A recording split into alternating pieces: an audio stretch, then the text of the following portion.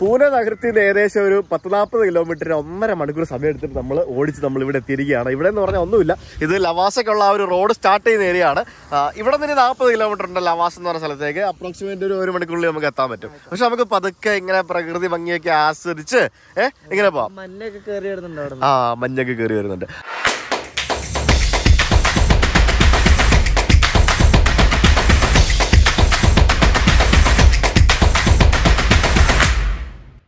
അപ്പോൾ ലവാസ എന്ന് പറഞ്ഞ ഒരു സിറ്റിയിലേക്ക് പോകുന്നതിന് വേണ്ടിയുള്ള ഒരു റോഡാണിത് സിറ്റി എന്ന് പറയുന്നത് കുറേ മല നിരകളൊക്കെ ഇങ്ങനെ കുറേ കോൺട്രവേഴ്സീസ് ഉള്ള ഒരു സിറ്റിയാണ് അല്ലേ? അപ്പോൾ എന്തൊക്കെയാണ് നമുക്ക് കാണാം. പിന്നെ ഈ പറഞ്ഞാൽ എത്ര സ്മാർട്ട് സിറ്റി പണിതാലും നമ്മുടെ റോഡിന്റെ സൈഡൊക്കെ കണ്ട് ഇങ്ങനെയൊക്കെ അല്ലേ നമ്മൾ ആക്കി ഇടുകയുള്ളൂ. കണ്ടില്ലേ? എന്താണ് ഫുള്ള് വേസ്റ്റ് സംഭവങ്ങളൊക്കെ. അപ്പോൾ ഇത് സ്മാർട്ട് സിറ്റി ഉണ്ടാക്കിയാൽ മാത്രം പോരല്ലോ. നമുക്ക് നമ്മുടെ ഒരു കൾച്ചർ കൂടെ നമ്മൾ മാറ്റണ്ടേ? എന്നാലേ പറ്റുള്ളൂ. അപ്പോൾ ഇന്നലെ നമ്മൾ മഴയത്ത് വണ്ടിയൊക്കെ ഓടിച്ച് ഫുൾ ചെളിയായി വീണ്ടും. ഇനി നമുക്ക് വണ്ടിയൊക്കെ കഴുകിയിട്ട് വേണം അടുത്ത യാത്ര തുടങ്ങാനായിട്ട്.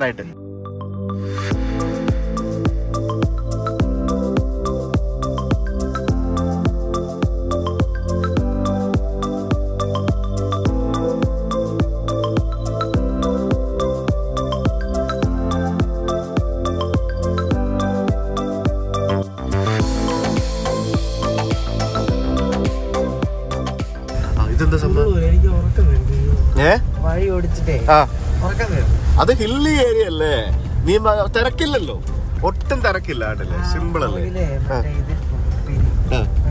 You want chips for you. It's banana chips from Tasty Neighbors. ഇതും റെഡി ടു ഇറ്റ് ആണ്. ഇത് ചൂടാക്കണ്ട. ഇത് ചൂടാക്കണ്ട. വെള്ളം വേണ്ട ഗ്യാസ് വേണ്ട ഒന്നും വേണ്ട. ചുമ്മാ കഴിക്കാം. പ്രിസർവേറ്റീവ്സ് ഒന്നും ഇല്ല കേട്ടോ. ഉപ്പൊടി മാത്രമേ ഉള്ളൂ. നൂറ് ഗ്രാം വരുന്ന ഈ ബനാന ചിപ്സിന് എഴുപത് രൂപയാണ് വില. ഇത് ശരിക്കും ഇതിന്റെ ഫാക്ടറി അറിയാൻ ഈ ടേസ്റ്റ് ടേബിൾസിന്റെ എറണാകുളത്തിനടുത്ത് അരൂർ എന്ന് പറഞ്ഞ സ്ഥലമുണ്ട്. നമ്മുടെ ശ്വേതയുടെ വീടിനടുത്ത്. നമ്മൾ ആ അരൂര് ജംഗ്ഷനിൽ തിരിഞ്ഞു പോകത്തില്ലേ? ആ അവിടെയാണ് ഇവരുടെ ഫാക്ടറി പല ആൾക്കാർക്കും ഡൗട്ട് ഉണ്ട്. എങ്ങനെയാണ് ഈ സാധനങ്ങൾ പ്രിസർവേറ്റീവ്സ് ഒന്നും കൂടാതെ ചേർക്കാതെ കേട് കേടുകൂടാതെ ഇത്രയും കാലം സൂക്ഷിക്കുന്നതാണ്. ഇതല്ല ഫുഡ് പ്രോഡക്ട്സ് അതെങ്ങനെയാണെന്നുള്ള ഈ ട്രിപ്പ് കഴിഞ്ഞിട്ട് നമുക്ക് ഇനി എന്തായാലും അവിടെ ഒന്ന് പോയി കാണിച്ചു കൊടുക്കണം എന്നാലും നമുക്ക് നിങ്ങൾക്ക് അത് കാര്യങ്ങൾ മനസ്സിലാവുള്ളൂ. അപ്പോൾ നിങ്ങൾക്ക് പഠിച്ചതാ പോരെ? ഫുള്ള് വേണമെന്ന് പകുതി മതിയോ? അത് രണ്ട് ചിപ്സ് മതിയോ? ഓ ശരി സാർ ഇവിടെ വെച്ചിട്ടുണ്ട്. ചില സ്ഥലങ്ങളിൽ നമ്മൾ വാങ്ങിക്കുമ്പോഴത്തേക്കും നല്ല കട്ടിയായിരിക്കും. പക്ഷെ തിൻ ചിപ്സ് ആകുമ്പോൾ അടിപൊളിയാണ്. ഇങ്ങനെ നമുക്കൊരു ചായക്കട കാണാണ് നിർത്തണം. ചായ കുടിക്കണം. ഈ മഴ ഡ്രസ്സിലിംഗ് ഏ ഈ ചിപ്സ് ചായ ഒക്കെ കിട്ടുകയാണെങ്കിൽ അടിപൊളിയായിരിക്കും. ഡാമോ? അടിപൊളി തെംഗർ ഡാം എന്ന് പറഞ്ഞൊരു ഡാമാണ് ആ കാണുന്നത്. ഇവിടെ ഈ ലവാസ എന്ന് പറഞ്ഞ സ്ഥലത്ത് ധാരാളം യൂണിവേഴ്സിറ്റികളും സ്കൂളും അങ്ങനെ കുറെ വലിയ വലിയ സംഭവങ്ങളൊക്കെ ഇങ്ങനെ പ്ലാൻ ചെയ്തിട്ടുണ്ട്. ചിലതൊക്കെ ഓപ്പൺ ആണ്. ഇതൊരു ഒന്നൊന്നര ഡാമാണല്ലോ അബി വലിയ ഡാമാടാ? ഫോട്ടോ എടുക്കാൻ മാത്രമൊന്നുമില്ല. ഇല്ലല്ലേ? എന്നാ പോവാല്ലേ എന്നാ പോവാ. മഴയാ.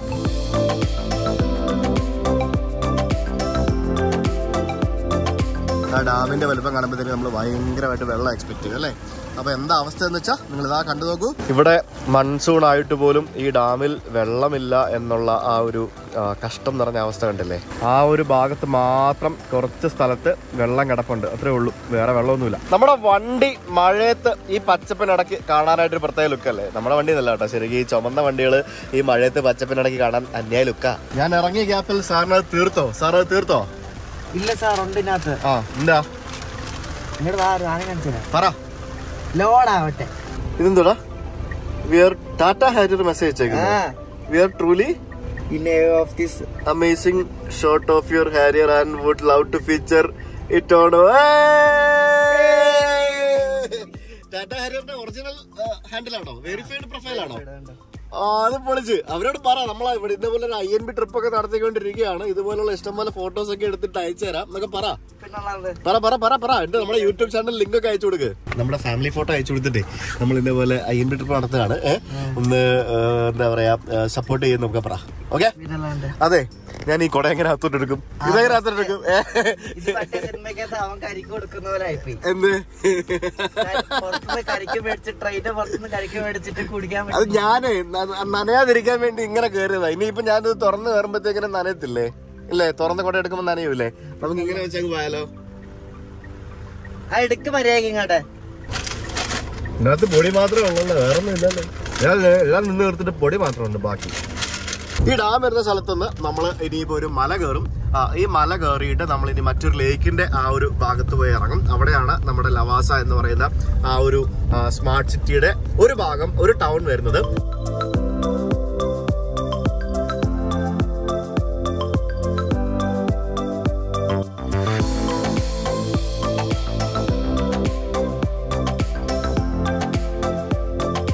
ഒന്നും കാണുന്നില്ല.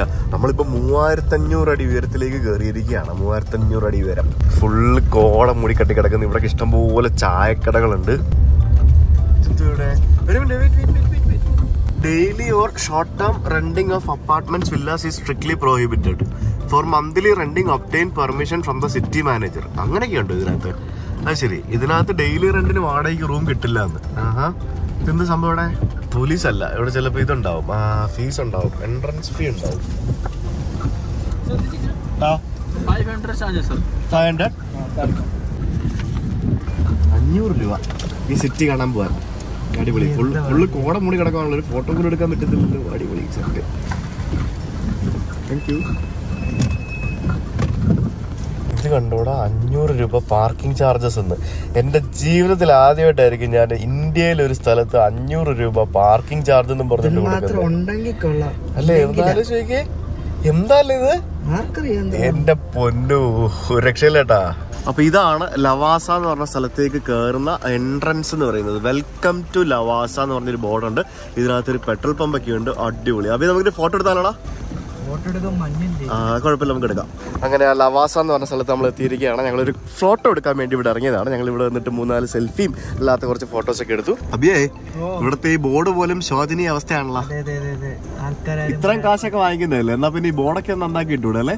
ഇവിടെ കുറെ സംഭവങ്ങളുണ്ട് Apollo hospital Christ university country club പിന്നെ ഫോർച്യൂൺ ഹോട്ടൽ എനിക്ക് തോന്നുന്നത് ഇവർ ഇവിടെ അധികം ടൂറിസ്റ്റുകൾ ഇങ്ങനെ വരാണ്ടിരിക്കാൻ വേണ്ടിയായിരിക്കും. ഇത്രയും വലിയ പൈസ പാർക്കിംഗ് ഫീ എന്ന് പറഞ്ഞുകൊണ്ട് വാങ്ങിക്കുന്നത്.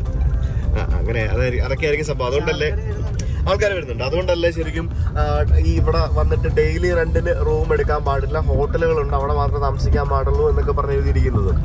പണി കഴിയാത്ത കുറെ കെട്ടിടങ്ങളൊക്കെ ഉണ്ട് കേട്ടോ ഇവിടെ. ഇതുണ്ടല്ലേ?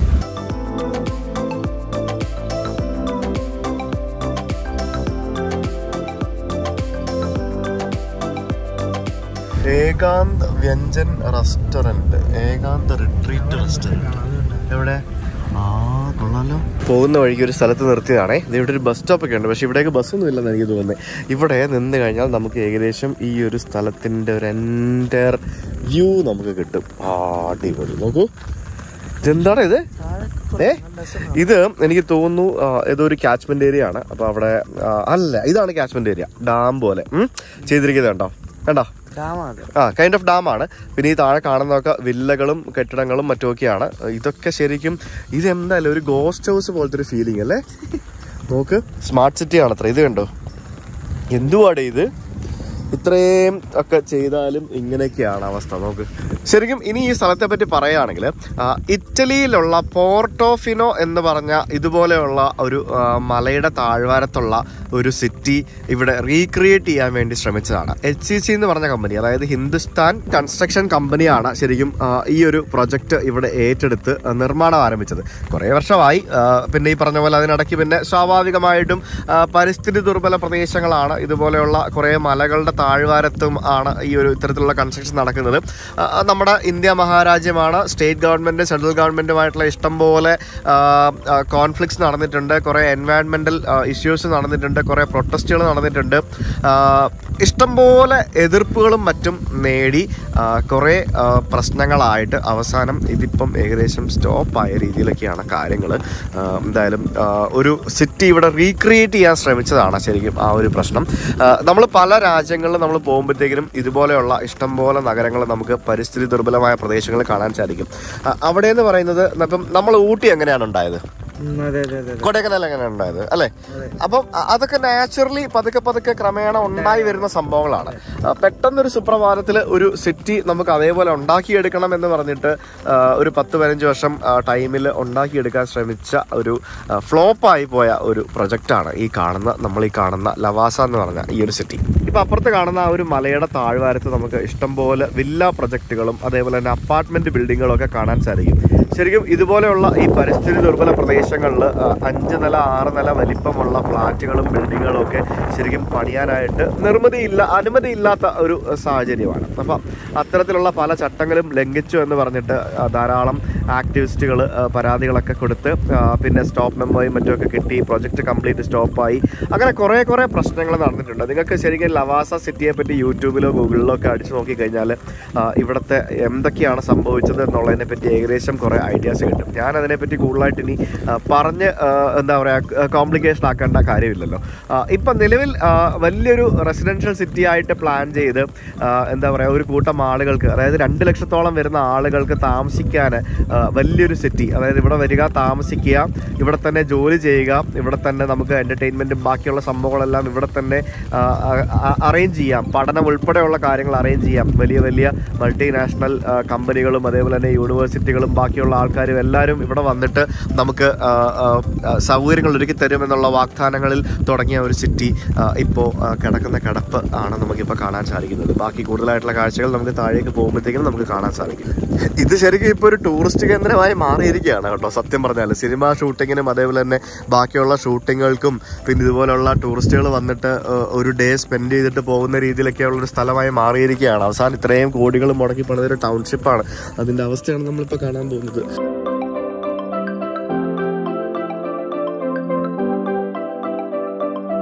ശരിക്കും ഇതൊക്കെ എന്തായാലും സംഭവം? കാണുമ്പോ ഭയങ്കര ലുക്ക് സംഭവങ്ങളൊക്കെയാണ്. എനിക്കറിയത്തില്ല. കാട് പിടിച്ച് കിടക്കാണോ എന്താണോ അവസ്ഥ? പക്ഷെ ഇവിടെ റോഡിലൊന്നും ആരും കാണാനില്ല അല്ലേ? വിജനവാ നേരത്തെ ഇവർ പൈസ പിരിച്ചോണ്ടിരുന്ന ഇവിടെയാണ്. ടൂ വീലർ ഇരുന്നൂറ് രൂപ ഫോർ വീലർ അഞ്ഞൂറ് രൂപ ഹെവി വെഹിക്കിൾ ആയിരം രൂപ. അതാണ് ഇവിടുത്തെ എൻട്രൻസ് ഫീ അല്ല പാർക്കിംഗ് ഫീ ഇതൊക്കെ വില്ലകളാണെന്ന് തോന്നുന്നു കേട്ടോ. നമ്മൾ ഈ വിദേശ രാജ്യങ്ങളിലൊക്കെ കാണുന്ന മാതൃകയിലുള്ള വില്ലകളാണ്. പക്ഷെ ഒന്നും മെയിന്റൈൻഡ് അല്ല പണ്ട് തീരാത്ത ഭാർഗവി നിലയം പോലെ നിൽക്കുന്ന മറ്റൊരു കെട്ടിടം ഇപ്പുറത്ത് കാണാം. ഇത് നോക്കടാ ഇതെന്താടാ ഫുൾ ഇത്? ഇതൊക്കെ ആരെങ്കിലും ഒക്കെ പൈസ മുടക്കി വാങ്ങിച്ചിട്ട വീടായിരിക്കും ഇതില്ലേ? കാട് പിടിച്ച് കിടക്കുന്നേ ഇല്ലേ? ഇത് നോക്ക് ഇരുപത്തിയെട്ട് ദസ്വേ ഓടെന്നും പറഞ്ഞുണ്ട്. ഇത് ഇവിടെ രണ്ട് വീട് കാണാം. തപ്പുറത്ത് വീട് കാണാം. ഇത് എന്താല്ലേ ശേ ശരിക്കും ഗോസ്റ്റ് ഹൗസ് ചില വീടുകളിലൊക്കെ പട്ടിയും ആൾക്കാരൊക്കെ ഉണ്ടെന്ന് കേട്ടോ. അവിടെ ചിലതിനകത്തൊക്കെ ആൾക്കാരെ കാണാം.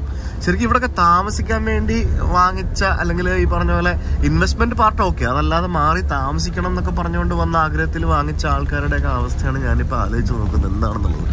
ഓരോ വീടുകൾക്കും നമ്പരൊക്കെ കൊടുത്ത് ഏ നല്ല മനോഹരമായിട്ട് ഏ കൊള്ളാല്ലേ? ശരിക്കും നമ്മൾ ഇതുപോലെയാണ്. നല്ല ഭംഗിയുണ്ട് നല്ല കൺസ്ട്രക്ഷൻ ആണ് എല്ലാം അടിപൊളിയാണ്. സംഭവങ്ങളൊക്കെ കൊള്ളാം. പക്ഷെ ഈ പദ്ധതി പാളിപ്പോയി എന്നുള്ളതാണ് ആകെയുള്ളൊരു കോൺട്രവേഴ്സി അതെന്തുവാടാ സംഭവം? ആ എന്തോ സാധനം എന്തോ ഒരു സംഭവം പണിതീരാതെ കിടക്കുന്ന. ഇങ്ങനത്തെ കുറെ ഇത് ഇതാണ് നമ്മൾ മേളിൽ നിന്ന് കണ്ടത് കണ്ട? ആ ലേക്കിന്റെ ഒരു മേളിൽ നിന്ന് ഒരു സംഭവം കണ്ടില്ലേ? ആ സാധനമാണ്. എല്ലാം കാട് പിടിച്ച് കിടക്കുക ഇതിലേ കൂടെ വേറെ ഒരു വഴിയുണ്ട് കണ്ടോ? അതിലേയും വന്ന് കേറാൻ തോന്നുന്നു. പിന്നെ എക്സ്ട്രിൽ ലേക്ക് വ്യൂ റിസോർട്ട് ഇതിനോടനുബന്ധിച്ച് കുറെ റിസോർട്ടും വേറെ സംഭവങ്ങളൊക്കെ ഉണ്ട് കേട്ടോ. ഇത് ഇവിടെ നിന്ന് മൂന്ന് കിലോമീറ്റർ പോയി കഴിഞ്ഞാൽ പെട്രോൾ പമ്പ് ഉണ്ട്. അടിപൊളി. അപ്പൊ എല്ലാ സൗകര്യങ്ങളും കൊടുത്തിട്ടുണ്ട്. നമ്മളെ കൊച്ചിയിൽ ഒന്ന് രണ്ട് ഫ്ലാറ്റുകൾ കണ്ടിട്ടല്ലേ? ഇതേപോലെ? കാട് പിടിച്ച് കിടക്കണം കാട് പിടിച്ച് കിടക്കുന്നേ. ഏതാണ്ട് അതേപോലത്തെ അവസ്ഥയിൽ കിടക്കുന്ന ഒരു വലിയൊരു പ്രൊജക്റ്റ് ആണിത് അല്ലേ? എത്ര കോടി രൂപ മുടക്കിയാണ് ഇതൊക്കെ ഇവിടെ ചെയ്തിരിക്കുന്നത് അല്ലേ? ശരിക്കും ഇത് ശരിക്കും ഞാൻ ഇതിന്റെ രാഷ്ട്രീയമോ ബാക്കിയുള്ള സംഭവങ്ങളൊന്നും പറയുന്നില്ല. അതൊക്കെ നിങ്ങൾക്ക് യൂട്യൂബ് യൂട്യൂബിൽ നോക്കി കഴിഞ്ഞാൽ കാണാൻ സാധിക്കും. ഇതിന്റെ പുറകിലത്തെ രാഷ്ട്രീയം അല്ലെ ഇതിന്റെ പുറകിലത്തെ കറപ്ഷനും ബാക്കിയുള്ള സംഭവങ്ങളൊക്കെ നിങ്ങൾക്ക് കാണാൻ സാധിക്കും. ഞാൻ അതിനെ പറ്റി ഒന്നും പറയുന്നില്ല. ഇതൊക്കെ കാണിച്ചു തരാം. ഇവിടെ നോക്ക്. ഇത് എന്തോ അഡ്വഞ്ചർ ആക്ടിവിറ്റിക്ക് വേണ്ടി ചെയ്തു വെച്ചിരുന്ന സംഭവങ്ങളാണ്. അതിന്റെയൊക്കെ അവസ്ഥ നോക്കി കാട് പിടിച്ച് കിടക്കാണ് അതും. ശരിക്കും ഇതൊക്കെ നോക്കിക്കാണോ? ഇതൊക്കെ ശരിക്കും ഇവിടൊക്കെ താമസിക്കാനാണെങ്കിൽ എന്ത് ഫീൽ ആയിരിക്കും താമസിക്കാൻ വേണ്ടി? എല്ലാം ഓപ്പൺ ആയിരുന്നെങ്കിലേ ഫസ്റ്റ് ഓഫ് ഓൾ ഒന്നാമത് പ്രകൃതി നശിപ്പിച്ച്. ഇത്രയൊക്കെ പണിത് വെച്ചു. ഒന്നുകിൽ ഇത് എന്താ പറയാ താമസിക്കാൻ കൊടുക്കണം. അല്ല അടിച്ചു പൊളിച്ച് കളയണം. നമ്മൾ ആ ഫ്ലാറ്റ് ഒക്കെ പൊളിച്ച് കളഞ്ഞ പോലെ. ആ പെർമിഷൻ കൊടുത്തിട്ട് ഇത്രയൊക്കെ പണിത് വെച്ചിട്ട് ഇതിന്റെ കിടക്കുന്ന അവസ്ഥ നോക്കി. എത്ര കോടി എത്ര കോടി രൂപയാണ് ഇത് പല സ്ഥലത്തുനിന്ന് ലോണും മറ്റുമൊക്കെ എടുത്തിട്ടാണ് ഇവിടെ പലതും നിർമ്മിച്ചിരിക്കുന്നത്. എന്നിട്ട് കിട്ടാക്കടം പോലെ ഇനിയിപ്പോ അത് ആ പൈസയൊക്കെ തിരിച്ചടക്കാൻ പറ്റുമോ എവിടെ? ഇല്ലേ? ശരിക്കും ഇത് കണ്ടിട്ട് ഭയങ്കര കഷ്ടം തോന്നുന്നു. എനിക്ക് അയ്യോ എന്താ അല്ലേ സി ഒന്ന് നോക്കിക്കഴിഞ്ഞാൽ രണ്ട് രീതിയിൽ ചിന്തിക്കാം. ഒന്ന് ഇവിടെ ഇത്രയും കഷ്ടപ്പെട്ട് ഇത്രയും ബുദ്ധിമുട്ടി ഇത് പണിതല്ലോ. ആ പണിതതിനെ നമുക്ക് വിമർശിക്കാം. പക്ഷേ ഇത് പണിതിട്ട് ഇതിങ്ങനെ കിടക്കുന്ന കാണുമ്പോഴത്തേക്കിനും ഭയങ്കര കഷ്ടം തോന്നും. എന്നിട്ട് ഇതിന്റെ സ്റ്റാൻഡേർഡിനൊന്നും യോജിക്കാത്ത തരത്തിലുള്ള ഒരു റെസ്റ്റോറന്റോ കോഫി ഷോപ്പോ അങ്ങനത്തെ ഒരു സെറ്റപ്പ് ഇവിടെയും കൊടുത്തിരിക്കുന്നു. ഇത്രയും ഗംഭീര സെറ്റപ്പിന് യോജിക്കാത്ത തരത്തിലുള്ള ഒരു സാധനമാണ് ഇപ്പോൾ ഇവിടെ കൊടുത്തിരിക്കുന്നത്. എനിക്ക് എനിക്ക് എനിക്കിത് എനിക്കിത് കണ്ടിട്ട് ശരിക്കും വിഷമാവുന്നുണ്ട്. ഒന്നും പറഞ്ഞിട്ട് കാര്യമില്ല. നമുക്കിനി താഴേക്ക് പോയി ബാക്കി കാണാം. ബസ് സ്റ്റോപ്പാടാ ബസ് സ്റ്റോപ്പ് അതായത് ഇവിടൊക്കെ വലിയ വലിയ ബസ്സുകൾ വന്ന് നിൽക്കും എന്നുള്ള കൺസെപ്റ്റിലാണ് ബസ് സ്റ്റോപ്പ് പണിത് വെച്ചിരിക്കുന്നത്. Home starting twenty nine lakhs ഓരോ സ്ട്രീറ്റിനൊക്കെ പേര് കൊടുത്തിരിക്കുന്നുണ്ടോ? പോർട്ടോഫിനോ സ്ട്രീറ്റ് അതായത് ഞാൻ പറഞ്ഞില്ലേ പോർട്ടോഫിനോ എന്ന് പറഞ്ഞ ഇറ്റാലിയൻ നഗരം. ആ നഗരത്തിന്റെ പേര് ഇവിടുത്തെ ഒരു സ്ട്രീറ്റിന് കൊടുത്തിട്ടുണ്ട്. പിന്നെ ഡാഷ്വേ ബോൾ ബോൾവാഡ് എന്ന് പറഞ്ഞ ഒരു പേര് കൊടുത്തിട്ടുണ്ട്. ഇവന്റ് സെന്റർ സ്ട്രീറ്റ് എന്ന് പറഞ്ഞിട്ട് കൊടുത്തിട്ടുണ്ട്. ആ റെസ്റ്റോറന്റിലെ ആൾക്കാരൊക്കെ ഈച്ചോടിച്ചിരിക്കട്ടോ അവിടെ. ആ ഡാമല്ലേ ഇത്? ഡാം ആണോ ഇത് എനിക്കറിയത്തില്ല ആണല്ലേ? ആ നദിയുടെ രണ്ട് വശത്തായിട്ടും കണ്ടോ? എന്താ അല്ലേ ആ ഭാഗത്തേക്ക് നമ്മൾ പോയിട്ടില്ല. ആ ഭാഗത്തേക്ക് നമുക്ക് പോവാ ഇപ്പോ. അവിടെ ഈ പറഞ്ഞ പോലെ വലിയ വലിയ കെട്ടിടങ്ങളൊക്കെ നമുക്ക് ഇഷ്ടം പോലെ കാണാൻ സാധിക്കും കണ്ട? ഈ ചത്ത് കടഞ്ഞാലേ ചമഞ്ഞ് കിടക്കണം എന്ന് പറയുന്നതല്ല. Short term renting of apartments or villas is prohibited എന്ന്. അതായത് കടന്ന് നശിച്ചാലും തരുവിലടാ പട്ടികളെ അല്ലേ? അതാണ്. ഒന്ന് ആലോചിച്ച് നോക്കിയേ എന്തല്ലേ അവസ്ഥ? നമ്മളിപ്പോ ആ നദിയുടെ ഇപ്പുറത്ത് വന്നു. അപ്പൊ ഈ ഭാഗത്ത് പണി പൂർത്തിയായതും തൊട്ടു പുറകിലായിട്ട് പണി പൂർത്തിയാകാത്തതുമായ കെട്ടിടങ്ങളുണ്ട്. അപ്പൊ ഇതിനകത്ത് ആൾക്കാർ താമസം ഉണ്ട് കേട്ടോ ചിലതിനകത്തൊക്കെ. ഉണ്ടോ? ആ തുണിയൊക്കെ ഉണക്കാനിട്ടിരിക്കുന്ന കാണാൻ സാധിക്കുന്നുണ്ട് കേട്ടോ അപ്പോൾ ശരിക്കും വന്ന് പെട്ട പാവങ്ങളൊക്കെ ഉണ്ട് കേട്ടോ. ആ തീർച്ചയായും പെട്ടുപോയതായിരിക്കും. ഇത് കണ്ടോ തൊട്ടിപ്പുറത്തെ ആ ബിൽഡിങ്ങിന്റെ പണി കഴിഞ്ഞിട്ടില്ല. ബിൽഡിങ് കഴിഞ്ഞു പക്ഷെ ഫിനിഷ് ആയിട്ടില്ല കണ്ടില്ലേ? ശരിക്കും ഒന്ന് ആലോചിച്ചെങ്കിൽ നമ്മൾ എത്ര നേരം റോഡിൽ പോയിട്ട് എത്ര വണ്ടികൾ കണ്ടു? സത്യം പറഞ്ഞ. പേടിയാവുന്നുണ്ട് നോക്കി ഇതുപോലെ അഞ്ച് ടൗണുകൾ പ്ലാൻ ചെയ്തിട്ട് ചെയ്ത സംഭവമാണ് അഞ്ച് ടൗണുകൾ ഡെവലപ്പ് ചെയ്യാൻ വേണ്ടി. ഒന്ന് ആലോചിച്ച് നോക്കി. ലവാസ ഇന്റർനാഷണൽ കൺവെൻഷൻ സെന്റർ എന്ന് പറഞ്ഞുകൊണ്ട് ഇവിടെ ഒരു കൺവെൻഷൻ സെന്റർ കാണാം. എന്താണെന്നറിയില്ല ഇവിടെ വല്ല ഹോട്ടലോ അങ്ങനെ എന്തെങ്കിലുമൊക്കെ ഉണ്ടോ അറിയില്ല ഇവിടെ എവിടെയാണ് ഹോട്ടൽ ഉണ്ടെന്നൊക്കെ പറഞ്ഞു. ഹോട്ടലിന്റെ ക്രൈസ്റ്റ് യൂണിവേഴ്സിറ്റി ഉണ്ടെന്നൊക്കെ പറഞ്ഞു. ഇതൊക്കെ ആണോ? എനിക്കറിയത്തില്ല. ചുമ്മായിരിക്കും ചിലപ്പോ ചിലപ്പോ യൂണിവേഴ്സിറ്റി ഉണ്ടാവും.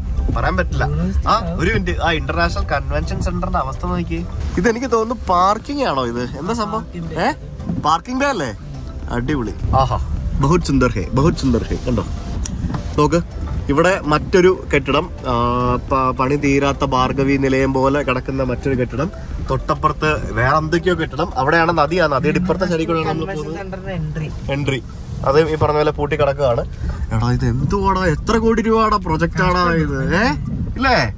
ശരിക്കും ഇതിന്റെ റിയൽ കോസ് എന്താണെന്നുള്ളത് എനിക്കറിയത്തില്ല ഇപ്പോഴും. ഇത് എന്തുകൊണ്ടാണ് എന്തുകൊണ്ടാണ് സ്റ്റോപ്പ് ആയി പോയെന്നുള്ളത്? ഉത്തരം എൻവയോൺമെന്റൽ ഇഷ്യൂസ് കാരണം സ്റ്റോപ്പ് ആയി പോയി എന്നുള്ളതാണ് ഒന്നുകിൽ പ്രകൃതിക്ക് ദോഷം തട്ടാത്ത രീതിയിൽ പല കാര്യങ്ങളും ചെയ്യാൻ പറ്റും. നമ്മൾ എത്ര എത്ര രാജ്യങ്ങളിൽ പോകുമ്പോഴത്തേക്കും പ്രകൃതിക്ക് ദോഷം തട്ടാത്ത രീതിയിൽ എന്തൊക്കെ ഡെവലപ്മെന്റ്സ് ആണ് നടക്കുന്നത് ഒന്നുകിൽ അങ്ങനെയൊക്കെ ചെയ്യണം. ഇല്ലെങ്കിൽ ചെയ്യാനേ സമ്മതിക്കാൻ പാടില്ല. ഇതിപ്പോ ഇത്രയൊക്കെ ചെയ്തിട്ട് ഇങ്ങനെ കാട് പിടിച്ച് കിടക്കുന്നതിൽ ഭയങ്കര കഷ്ടമാണ്. സ്റ്റുഡൻസ് ആണെന്ന് തോന്നുന്നു കേട്ടോ. ഐ ഡി കാർഡൊക്കെ കാണാം. എനിക്ക് ഇവിടെ ഇവർ മാത്രമേ ഉള്ളെന്ന് തോന്നുന്നു. പ്രോമനയുടെ ടൗൺ ഹാൾ അപ്പോളോ ഹോസ്പിറ്റൽ. ആ അപ്പോളോ ഹോസ്പിറ്റലൊക്കെ ഉണ്ട് കേട്ടോ. ഇതെന്ത് സെന്ററാ ലവാസ ഇൻഫർമേഷൻ സെന്റർ. ശരിക്കും ഇതൊക്കെ സി ആ ഒരു യൂറോപ്യൻ സ്റ്റൈലിലാണ് പല കെട്ടിടങ്ങളും വില്ലകളും ഒക്കെ നിർമ്മിച്ചിരിക്കുന്നത്. അത് പ്ലൈവുഡ് വെച്ച് മൂടിയിട്ടിരിക്കുകയാണ് ഇൻഫ- ഇൻഫർമേഷൻ സെന്ററിന്റെ ആ ഒരു കവാടം എന്ന് പറയുന്നത്. ഇതൊക്കെ ശരിക്കും ഭയങ്കര കഷ്ടമാണ്. ഇതിനകത്തൊരു എസ് ബി ഐ ഉണ്ട്. എ ടി എം ഉണ്ട്. വർക്കിംഗ് ആണോ? ബാങ്ക് ഉണ്ടോ? ആ. ഇവിടെ നിന്ന് റൈറ്റ് എടുത്ത് റൈറ്റ് എടുത്ത്. നമുക്ക് നോക്കാൻ പോയി നോക്കാം. എടാ ഇവിടെ ശരിക്കും സ്റ്റുഡൻസ് മാത്രം ഉള്ളടാ. എന്തിനാ വെറുതെ? ദേ അവരൊക്കെ വീഡിയോ എടുത്തോണ്ടിരിക്കുകയാണ് അവിടെ. നോക്ക്. ഇതും കണ്ടില്ലേ ഫുള്ള് പണിതിരിയാതെ നടക്കുന്ന ബിൽഡിങ് അപ്പുറത്തും പണിതിരിയാതെ നടക്കുന്ന ബിൽഡിങ് എന്തോരമാണ് എന്താണ് പ്രേതാലയം പോലെ കിടക്കുന്നത് ഇങ്ങനെ? എന്തോരം കിടക്കുന്നു? ഇവിടൊക്കെ താമസമുണ്ട് കേട്ടോ. ആൾക്കാർ ഇത് ഇതിന്റെ മേലൊക്കെ താമസമുണ്ട്. ഇവിടൊക്കെ കുറച്ച് മെയിന്റൈൻഡ് ആണ് ഈ ഭാഗത്ത് നമുക്ക് കാണുന്ന കുറച്ച് വീടുകളൊക്കെ. ചില സ്ഥലങ്ങളൊക്കെ മെയിന്റൈൻഡ് ആണ് ചില സ്ഥലങ്ങളൊക്കെ മെയിന്റൈൻഡ് അല്ല. ചിലതൊക്കെ അത്യാവശ്യം കുഴപ്പമില്ലാതെ കിടപ്പുണ്ട്. എന്നാലും ഒരു ചാമില്ല. ലവാസ നിങ്ങൾ അങ്ങനെ ശരിക്കും കാണണ്ടാന്ന് ആ മഴ പറയുന്നത് നമുക്കിവിടെ ഭക്ഷണം കഴിക്കാൻ റെസ്റ്റോറന്റ് എന്തെങ്കിലും കിട്ടുമോ നോക്കണ്ടേ? നോക്കണം. നോ ഹോട്ടലൊക്കെ ഉണ്ടെന്ന് വെറുതെ പറ്റില്ല കേട്ടോ. നോ ഹോട്ടലൊന്നും ഇല്ല.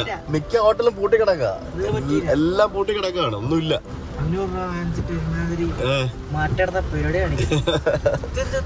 ഇത് താഴെ ബേസ്മെന്റ് പാർക്കിംഗിലേക്കുള്ള വഴിയാ. ഇത് എങ്ങോട്ട് പോണ്? തിരിച്ചു പോ തിരിച്ചു പോ. അവിടെ പേര് ആയിരം രൂപ വേറെ വാങ്ങിക്കും. നമുക്ക് വരുന്ന വഴിക്ക് ഒരു വെജ് റെസ്റ്റോറന്റ് കണ്ടില്ലേ? അവിടെ കയറിയാലോ ഇവിടൊക്കെ താമസമുണ്ട് കേട്ടോ ആൾക്കാര്. ദേ അതിനകത്തൊക്കെ തുണിയൊക്കെ ഉണക്കിയിട്ടിരിക്കുന്ന കാണാം. ദേ ഈ ബാ- ഈ കാണുന്ന കെട്ടിടങ്ങളിലൊക്കെ താമസമുണ്ട്. എനിക്ക് തോന്നുന്നു അപ്പുറത്ത് നമ്മൾ കണ്ട ആ സ്ട്രെച്ചിൽ താമസം ഇല്ലാന്ന് തോന്നുന്നു. ഇവിടൊക്കെ ആൾക്കാർ താമസം ഉണ്ടെന്നാണ് എനിക്ക് തോന്നുന്നത്. എല്ലാ ബിൽഡിങ്ങുകളുടെ മുമ്പിലും സെക്യൂരിറ്റീസും അവരും ഇവരും ഒക്കെ ഉണ്ട്. ശരിക്കും നമുക്കൊന്ന് പുറത്തിറങ്ങി ഷൂട്ട് ചെയ്യാനായിട്ട് പറ്റിയില്ല അല്ലേ? നമ്മളിങ്ങനെ ജസ്റ്റ് വണ്ടി ഓടിച്ച് അകത്തൂടെ ഇങ്ങനെ കണ്ട് ഇങ്ങനെ പോയിക്കൊണ്ടിരിക്കുകയാണ്. മഴ നമ്മളെ ആ കാര്യത്തിൽ ചതിച്ചു. അപ്പൊ നമ്മൾ കറങ്ങി തിരിഞ്ഞ് വീണ്ടും മുകളിൽ എത്തിയിരിക്കുകയാണ് മുകളിൽ ഈ കാണുന്ന ആ ഒരു വെജ് റെസ്റ്റോറന്റ് അല്ലേ? ഇവിടെ റിസോർട്ടും ഉണ്ട് കേട്ടോ. ഇതിന്റെ മേളിൽ റൂംസ് ഒക്കെ ഉണ്ട് കേട്ടോ. അപ്പോൾ ഇവിടെ ഇഷ്ടം പോലെ പാർക്കിംഗ് സ്പേസ് ഒക്കെ ഉണ്ട്. അപ്പോൾ ഇവിടെ ശാന്തത സമാധാനം. നമ്മളിവിടെ വണ്ടി പാർക്ക് ചെയ്തത് ഈ കാണുന്നതാണ് റെസ്റ്റോറന്റ് എടാ ഇത് അടിപൊളി റിസോർട്ടാടാ ശരിക്കും നമുക്ക് ഇവിടെ വന്നൊരു ദിവസം വേണം താമസിക്കായിരുന്നല്ലേ? നല്ല കീടിലം കാലാവസ്ഥ നല്ല തണുപ്പ്. എന്റെ മൂക്കടഞ്ഞടാ എന്റെ മൂക്കടഞ്ഞു എന്റെ സൗണ്ട് പോയി. അടിപൊളി. അപ്പോൾ ഇവിടെ റെസ്റ്റോറന്റ് ഇവിടെ കണ്ട ഇത് ഇതാണ് റെസ്റ്റോറന്റ് വഞ്ചൻ. വഞ്ചനോ? അയ്യോ നല്ല പേര്. നല്ല വ്യൂ ഉള്ള ഒരു സ്ഥലത്ത് ഒരു അടിപൊളി ഒരു റെസ്റ്റോറന്റ് ഫുൾ കോടയാണെന്നേ ഉള്ളൂ. അതുകൊണ്ട് വ്യൂ ഒന്നും കിട്ടത്തില്ല. ഇവിടെ നോൺ വെജ് ഉണ്ട്.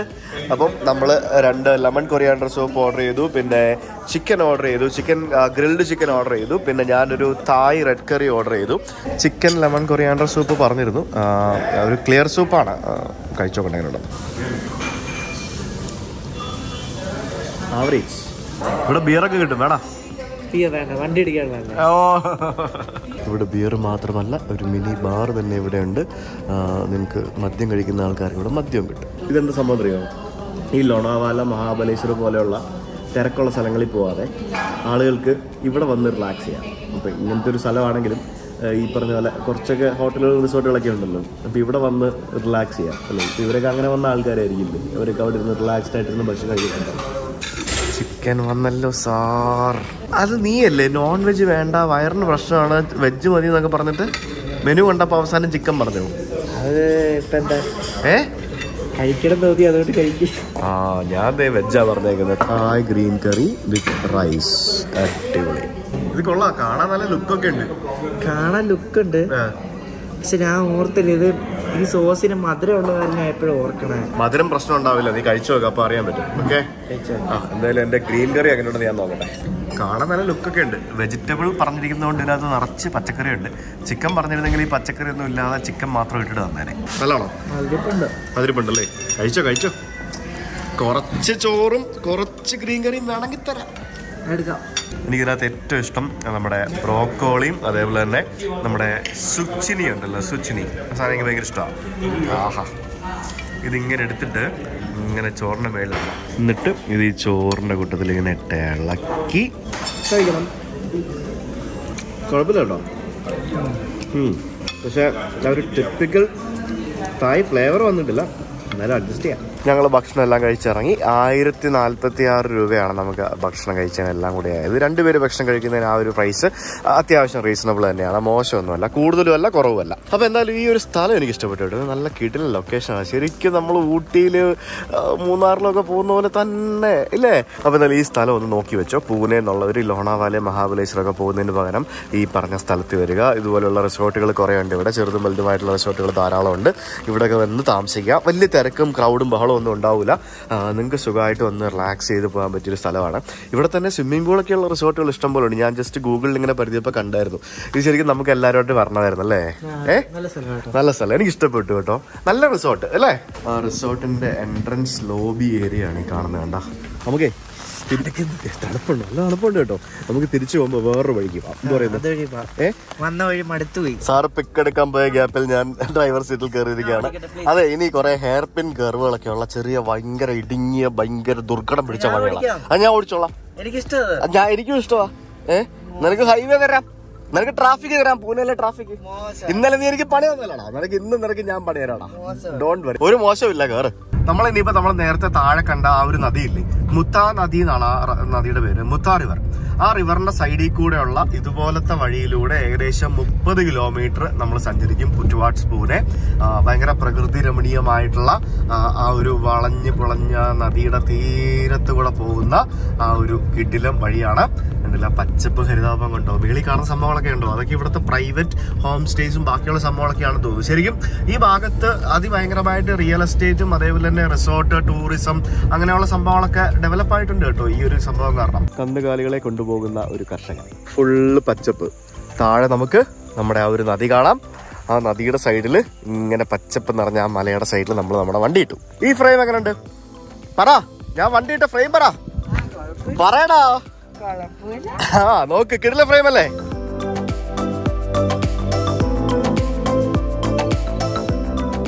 ശരിക്കും ഇത്രയൊക്കെ ആയിട്ട് എന്താണ് ഇവിടെ ടൂറിസ്റ്റുകൾ വരാത്തെ?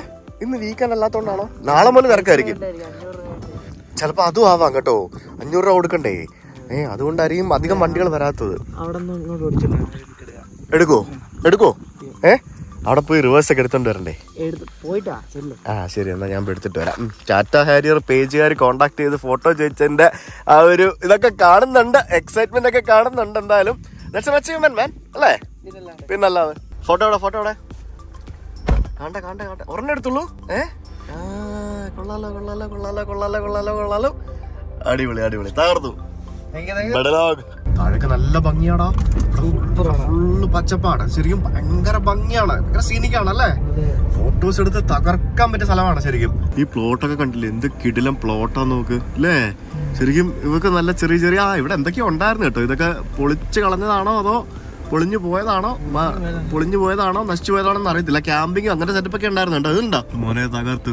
എനിക്ക് തോന്നുന്നു ഇതൊക്കെ കോവിഡ് കാരണം ഓൾമോസ്റ്റ് ജീർണിച്ചു പോയ സംഭവങ്ങളൊക്കെ ആയിരിക്കാം. ആ പച്ചപ്പാണ് നിന്റെ ഭംഗി കേട്ടോ ആ പച്ചപ്പ്. ഇവിടെ ചെറിയൊരു കോഫി ഷോപ്പ് പോലത്തെ എന്തോ ഒരു സെറ്റപ്പ് ഒക്കെ ഉണ്ട് കേട്ടോ. ശരിക്കും ഈ നദിയിൽ നിറച്ച് വെള്ളം ഉണ്ടെങ്കിൽ എന്തായിരിക്കും അല്ലേ? ഇവിടെ ഒരു റിസോർട്ട് ഒക്കെ ഉണ്ട് ലെസിസ് സ്വിസ് ലേക്ക് റിസോർട്ട് മഹാരാഷ്ട്രൻ ഗ്രാമങ്ങൾ അപ്പുറത്ത് നെൽപ്പാടം. ഏ? ഇവിടെ ചെറിയ ഒരു കുടിൽ. കുറച്ച് സ്ഥലം കിട്ടിയാൽ ഇവർ നെൽകൃഷി ചെയ്യും കേട്ടോ. സക്കല സ്ഥലമാണെങ്കിലും ചെയ്യും. നമ്മൾ വന്ന റൂട്ട് കച്ചറയായിരുന്നു കേട്ടോ. ഇത് സൂപ്പർ റൂട്ടാണ്. പൂനെ നിന്ന് ആരെങ്കിലും ഈ റൂട്ടിലേക്ക് വരാൻ പ്ലാൻ ഉണ്ടെങ്കിൽ ഞാനിപ്പോൾ വന്ന ഒരു റൗണ്ട് ട്രിപ്പ് ഉണ്ട്. പൂനെ നിന്ന് ഒരു വഴി കൂടെ വന്ന് തിരിച്ച് വേറൊരു വഴി കൂടെ പോകുന്നത് ഇതിന്റെ ഗൂഗിൾ മാപ്പ് ലൊക്കേഷൻ ഞാൻ ഈ വീഡിയോയുടെ ഡിസ്ക്രിപ്ഷനിൽ ഇടുന്നുണ്ട്. അത് നോക്കണം. ഇത് എന്തുവാടാ ഇത്? എടാ ഇത് ഞാൻ അവിടുന്ന് വണ്ടി ഓടിച്ചു വരട്ടെ? ആ ഫ്രെയിം അടിപൊളിയായിരിക്കും. ഞാൻ അതിലൂടെ വണ്ടി ഓടിച്ചോണ്ട് വരാം. ഇതെങ്കിൽ വന്നേ നോക്കിക്കേ നോക്കിക്കേ എന്റെ ഈ ക്യാമറ നോക്കിക്കേ ആ പശു നിൽക്കുന്ന സ്ഥലം കണ്ടോ? സെറ്റ്. സെറ്റല്ലേ? അടിപൊളി കുറച്ച് ഫോട്ടോസ് ഒക്കെ എടുത്തിട്ടുണ്ട്. അപ്പം ചേട്ടൻ വേണ്ട വണ്ടി ഓടിച്ചുകൊണ്ട് വരുവാണ്. കിട്ടിലൻ ഫ്രെയിം ആട്ടോ. കിട്ടിലൻ ഫ്രെയിം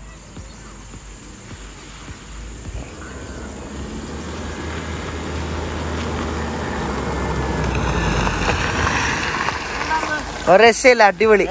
അടിപൊളി. കറക്റ്റ് ആ പട്ടിയും ആ. മനുഷ്യനും ഒക്കെ അവിടെ കിട്ടിയില്ലേ? അഭി എടുത്ത ഫോട്ടോസ് ഒക്കെ എങ്ങനെ ഉണ്ടായിരുന്നു നിങ്ങൾ പറയണം. പലരും പറഞ്ഞിട്ടുണ്ട് ഇൻസ്റ്റാഗ്രാമിൽ അല്ലാതെ വീഡിയോയ്ക്ക് മുകളിൽ തന്നെ ഫോട്ടോസ് ഇട്ട് കാണിക്കണം എന്ന് പറഞ്ഞിട്ടുണ്ടായിരുന്നു. അതുകൊണ്ട് നമ്മൾ വീഡിയോസിന് മുകളിൽ തന്നെ ഫോട്ടോസ് ഇട്ട് കാണിക്കുന്നുണ്ട്. എല്ലാവരും അബിയുടെ ഫോട്ടോസ് ലൈക്ക് ചെയ്യുക. അബിയുടെ ഫോട്ടോസ് കൂടുതൽ കാണുന്നുണ്ടെങ്കിൽ അബിയുടെ ഇൻസ്റ്റാഗ്രാം നോക്കിയാൽ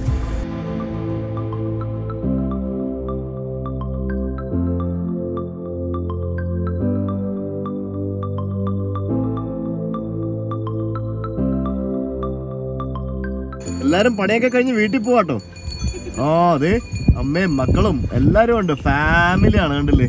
പിന്നെ മേച്ചോടെ നടക്കുന്ന ആ ചേട്ടൻ പുറകെ കാണുന്ന ചേട്ടൻ. ആ ചേട്ടന്റെയാണ് ഇത്രേ ആടുമാടുകൾ കണ്ടില്ലേ? ഇവരെല്ലാരും പണിയെല്ലാം കഴിഞ്ഞ് വീട്ടിൽ പോവാണ്. ഞങ്ങൾ ഇങ്ങനെ പോകുന്ന വഴിക്ക് നല്ലൊരു ഫ്രെയിം കണ്ടപ്പോൾ നിർത്തിയാണ്.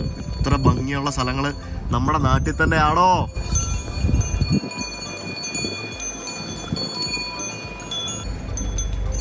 ഋഷിക്കുട്ടൻ ഉണ്ടായിരുന്നെങ്കിൽ ഇപ്പൊ പശുവിനെ കാണിച്ച് കളിപ്പിക്കായിരുന്നു. അവനാണ് പശു എന്ന് പറഞ്ഞാൽ ഭയങ്കര ഇഷ്ടമാണ്. പശുവിനെ കാണുമ്പോഴേ ശബ്ദം ഉണ്ടാക്കി തുടങ്ങും. എന്ത് രസമുണ്ടാ കാണാനായിട്ട്? ശ്ശോ.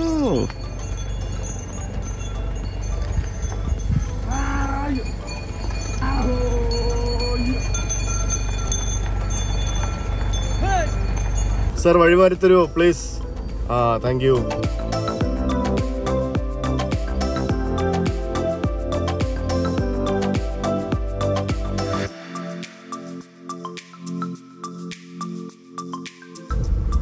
അഭി നിനക്ക് വണ്ടി ഓടിക്കണ്ടാ ഇത് ഉണ്ടോ ഈ മൂന്ന് പോയിന്റ് ആറ് കിലോമീറ്റർ ഉണ്ട്. അതെന്താ വണ്ടി നല്ല റോഡടാ വേണ്ടേ ഓടിക്കണ്ട. സാർ ഇനി സാറിന്റെ ടൈമാണ് കേട്ടോ.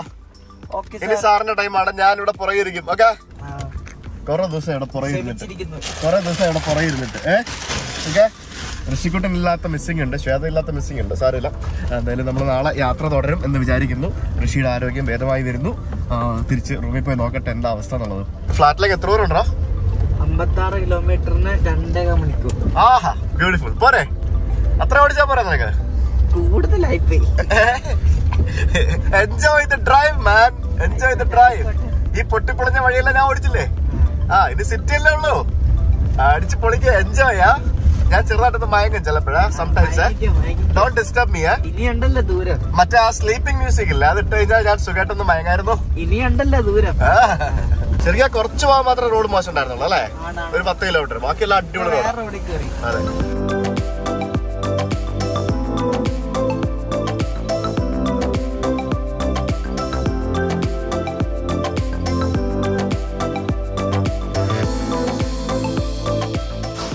ഞങ്ങൾ അങ്ങനെ തിരിച്ചു വീട്ടിലെത്തിയല്ലോ. അല്ലേ അബിബി?